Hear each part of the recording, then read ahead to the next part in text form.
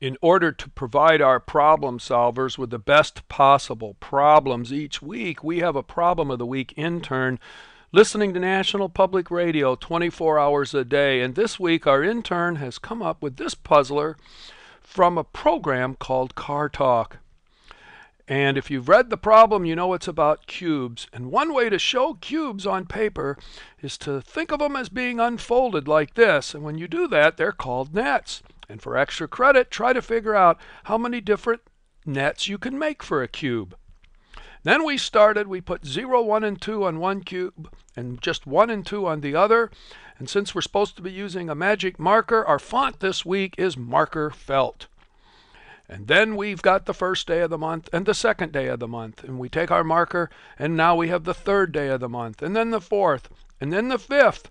And then we realize that because of the annoying rule that we must use a zero for every single digit number, so that even single digit numbers are written as two digit numbers, we realize we must have a zero on the second cube, just like we've doubled up on the one and the two.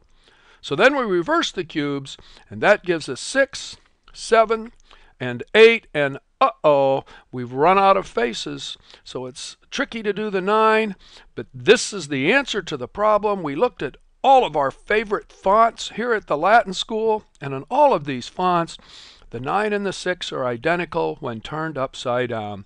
So doing that, we simply turn the second cube upside down, and there's 9 and then we turn it right back around for 10, 11, 12, and we can go all the way to the 31 days in the month. Occasionally we have to reverse the cubes, and occasionally we turn one upside down.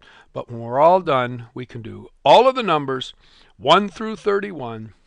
And one cube then has 0 through 5 on it. The other cube has 0, 1, 2, 6, 7, 8, and 9. The answer to this week's problem of the week.